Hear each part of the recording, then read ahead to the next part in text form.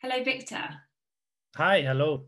Hi, thank you for joining us today. You're, um, you're the co-founder and CEO of Sense of Space and also one of our newest partners at Blend.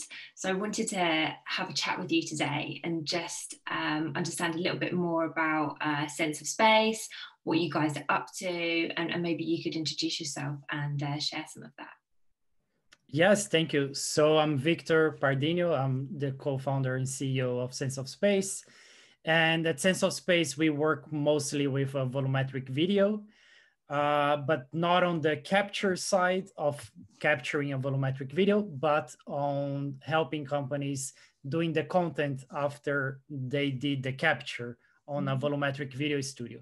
And we just released a tool that calls SenseXR which is a, a, a, volumetric video editor, or you can call volumetric video engine, where uh, anyone can load uh, holograms, also the, that's how we call them, uh, can load any volumetric videos into the tool, make some editing, just like you edit a 2D video. You can also add uh, audio or normal 3D objects.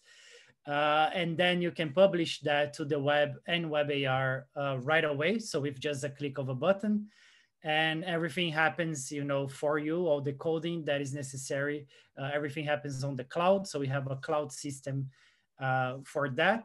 And so you can get to capturing a hologram to publishing on the web and showing to anyone in the world in like very fast and in a super accessible way. So there's no downloading apps or anything like that. Everything is streamed.